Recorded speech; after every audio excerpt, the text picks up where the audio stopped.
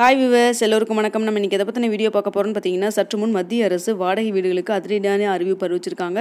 அதை பற்றி தான் இந்த வீடியோவில் முழுமையாக நம்ம பார்க்க போகிறோம் அதுக்கு முன்னாடி இது வரைக்கும் நம்மளோட சேனலை சப்ஸ்கிரைப் பண்ணாமல் இருந்தால் சப்ஸ்கிரைப் பண்ணிங்க கூடவே பெல் பட்டனை கிளிக் பண்ணிக்கிங்க. வாங்க வீடியோக்குள்ளே போகலாம். நேற்று பிரதமர் நரேந்திர மோடி தலைமையில் நடந்த மத்திய அமைச்சரவை கூட்டத்தில் வாடகை சட்டத்தின் திருத்தம் வந்து கொண்டு வரப்பட்டுள்ளது. ஸோ அந்த புதிய திட்டத்தின் மூலமாக யாராருக்கெல்லாம் பயனளிக்கும் வகையில் இருக்கும் என்னென்ன மாதிரி திருத்தமெல்லாம் கொண்டு வந்திருக்காங்க அப்படிங்கிறத முழுமையாக இந்த வீடியோவில் நம்ம பார்த்துடலாங்க.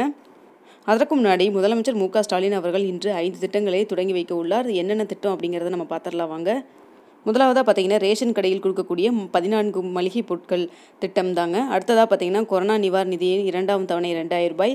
மூன்றாவதாக அர்ச்சகர்களுக்கு நாலாயிரம் ரூபாய் நிதியுதவி நான்காவதாக பார்த்தீங்கன்னா தொற்றால் பலியான டாக்டர்கள் மற்றும் போலீசார்களின் குடும்பத்திற்கு இருபத்தி ஐந்து லட்சம் நிதியுதவி அடுத்ததாக பார்த்தீங்கன்னா பத்திரிகையாளர்களுக்கு ரூ பத்து லட்சம் வழங்கும் திட்டம் தாங்க. ஸோ இந்த ஐந்து திட்டங்களையும் இன்று வந்து தொடங்கி வைக்க உள்ளார் முதலமைச்சர் மு ஸ்டாலின் அவர்கள்.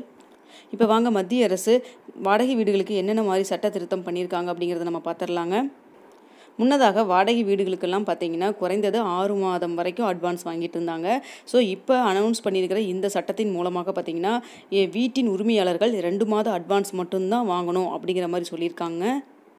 ஸோ அதனால் பார்த்தீங்கன்னா இனிமேல் வாடகைக்கு போகிற மாதிரி இருக்கவங்கெல்லாம் வந்து இரண்டு மாத அட்வான்ஸ் மட்டும் கொடுத்தால் போதும் அப்படிங்கிற மாதிரி சட்டம் போட்டிருக்காங்க. அடுத்ததாக பார்த்தீங்கன்னா வாடகைதாரர் வந்து வீட்டை காலி பண்ணாத சமயத்தில் வீட்டின் வாடகையை வந்து உயர்த்துவதற்காக இந்த சட்டத்தில் திருத்தம் செய்யப்பட்டிருக்குங்க.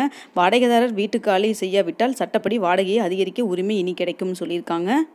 அது மட்டும் இல்லைங்க வாடகை தொடர்பான புகார்களை விசாரிக்க தனி வாடகை ஆணையம் அல்லது வாடகை தீர்ப்பாயம் அமைக்க புதிய சட்டத்தில் வழிவகை செய்யப்பட்டிருக்கிறதுன்னு சொல்லியிருக்காங்க.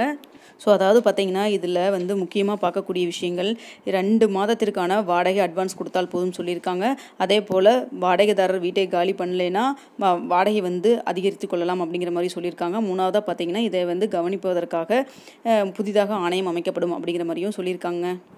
ஓகே விவசாயம் உங்களுக்கு இந்த வீடியோ பிடிச்சிருக்குன்னு நினைக்கிறேன். மேலும் பயனுள்ளதாக இருந்திருக்கும். பிடிச்சிருந்தா லைக் பண்ணுங்கள் ஷேர் பண்ணுங்கள் மேலும் இது போன்ற தகவலை உடனுக்குடன் தெரிந்து கொள்ள நம்மளுடைய சேனலை மறக்காம சப்ஸ்கிரைப் பண்ணிக்கோங்க. கூடவே பெல் பட்டனை கிளிக் பண்ணிக்கோங்க. ஓகே விவர்ஸ் நெக்ஸ்ட் வீடியோவில் பார்க்கலாம்.